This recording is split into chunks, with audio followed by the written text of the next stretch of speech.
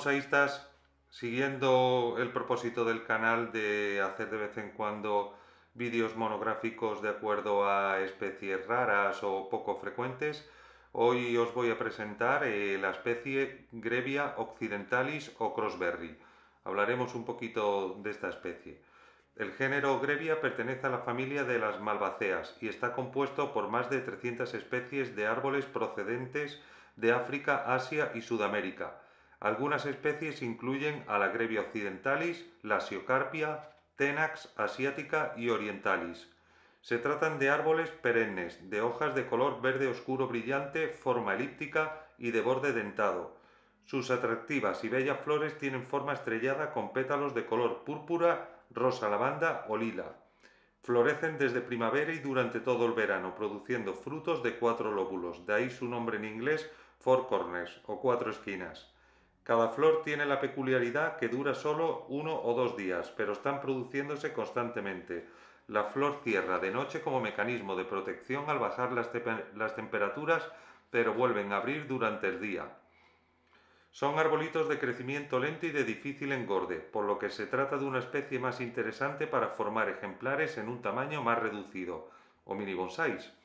Además, las hojas son bastante pequeñas y, manteniendo un pinzado constante incluso de foliado, se pueden reducir aún más. En general, se trata de una especie muy agradecida, no da problemas de plagas ni de cultivos, de floración abundante y duradera, con gran potencial ornamental.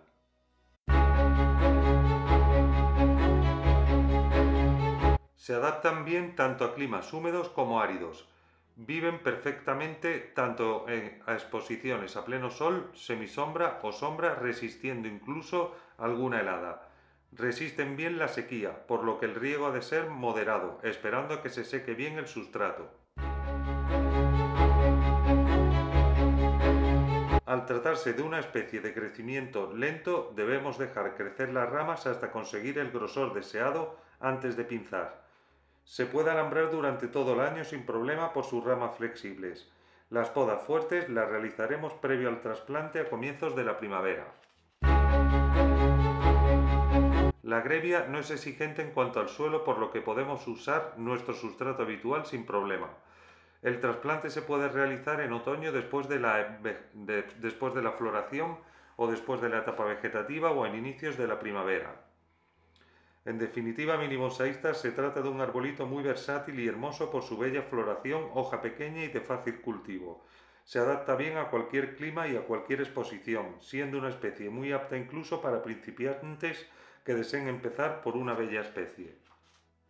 Como siempre, en los vídeos monográficos me gusta presentaros a algún profesional en el cultivo de la especie en cuestión para que nos muestre su punto de vista.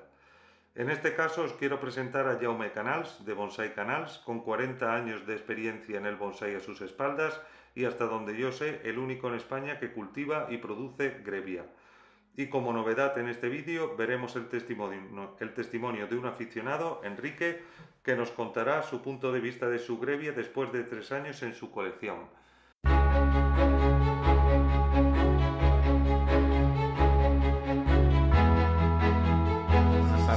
Soy Jaume Canals, eh, me dedico a cultivar bonsáis y al cultivo y venta de bonsáis y voy a hablaros de una especie eh, que llevo cultivando un tiempo, es poco conocida y es una especie de flor mm, muy interesante que se llama Grevia occidentalis.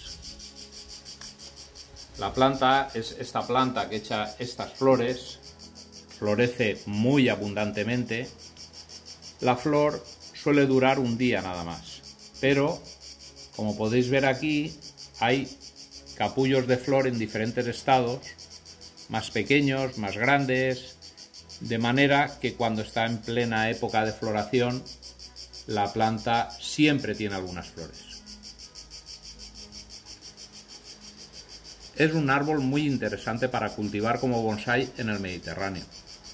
Llegó desde Japón como una plantita eh, comercial y averiguando, hablando con mi amiga Noriko, me tradujo la etiqueta y el nombre que le dan los japoneses a esta planta es Suirenboku. Suirenboku. Después yo buscando por internet encontré que era una planta sudafricana Esto quiere decir que la planta se adapta perfectamente a nuestro clima, al clima mediterráneo. Mm, no, yo particularmente no he notado que tenga ninguna enfermedad, no le atacan cochinillas, no le atacan hongos, crece muy bien, está floreciendo durante todo el verano. En fin, es una planta muy, muy, muy interesante para hacer bonsai. Eh, yo llevo cultivándolas como 5 o 6 años y siempre ha respondido estupendamente a lo que es el, alambrado, el pinzado, la poda, el recorte y florece, pues como os decía abundantemente y no requiere una técnica especial para que florezca. Cada vez que recortas, la planta rebrota, hace sus flores, vuelves a recortar, vuelve a rebrotar y así sucesivamente. Si recortas mucho consigues más ramificación y menos flores, si recortas poco pues se pasa la vida floreciendo y, ramificando más. Eso depende cada uno lo que pretenda con ellas. Como podéis ver las grevias estas ramifican muy bien, o ramifican bastante bien, eh, crecen durante todo el verano, corto regularmente durante todo el verano, dejando la última hoja orientada como si fuera un olmo o si fuera un, cualquier otra especie. ¿Ok? Y con esto se consigue más ramificación, menos flores. Esta planta está haciendo poca flor porque estoy recortando constantemente. El tronco es muy interesante. Como podéis ver, hace una corteza que no está mal para un árbol de flor. Aquí tengo otro que está muy bien también. ¿Veis?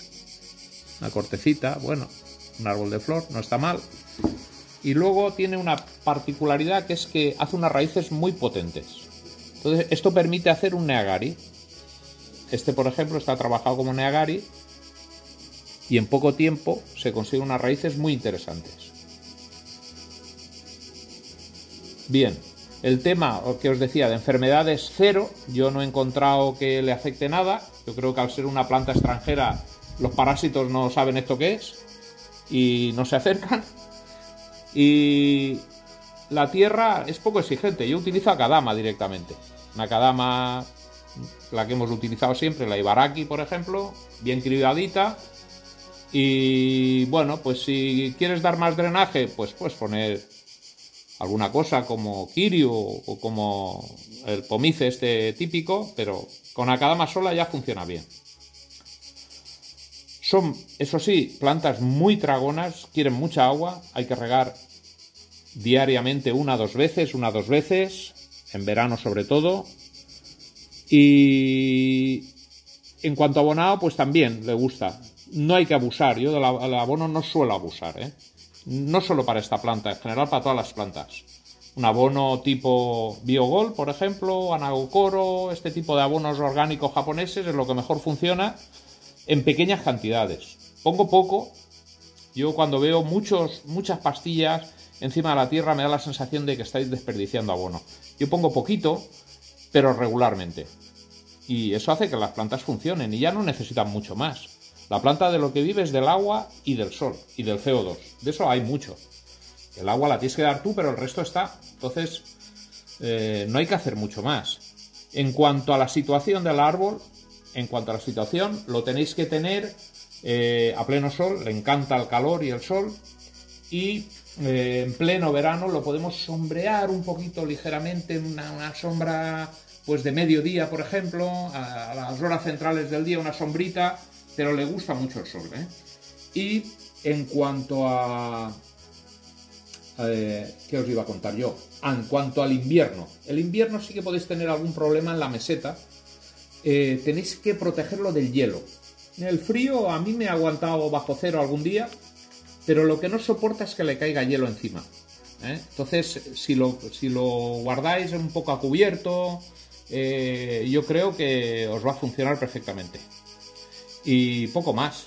Ya no hay que hacer muchas cosas más. Es trabajar como si trabajáramos una celcoba.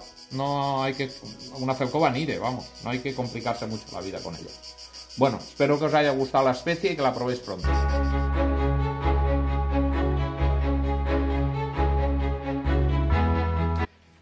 Hola, videobonsaístas. Soy Quique, desde Madrid.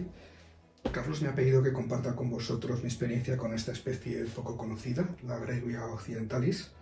Este ejemplar lo adquirí hace tres años a un compañero de Murcia. Cuando compré este árbol, mi principal preocupación era si aguantaría el frío que hace en invierno en Madrid. Y después de tres años de cultivarlos, puedo comentar que no, que no he tenido problemas con la misma protección, igual que la que hago con el resto de árboles. No me ha dado ningún problema. O sea que eso no debería ser un factor que os haga no, no, pensar en esta especie.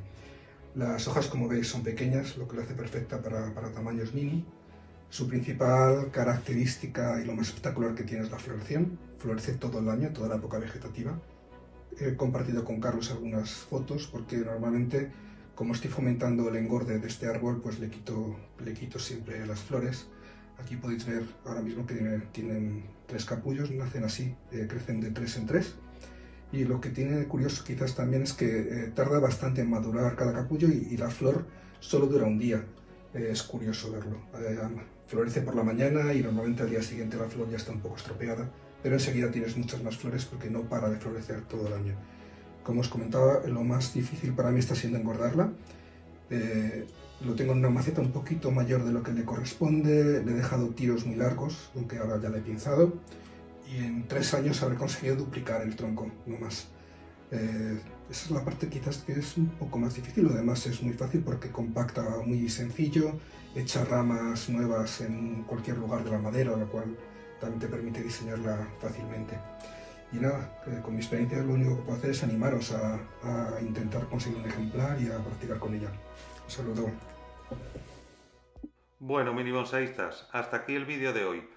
Mi agradecimiento tanto a Jaume como a Enrique por su colaboración y ayuda a entender algo mejor el cultivo de grevia. Yo me despido de vosotros y os dejo con las hermosas especies de grevia que disponemos en la web. Un fuerte abrazo mini y hasta el próximo vídeo.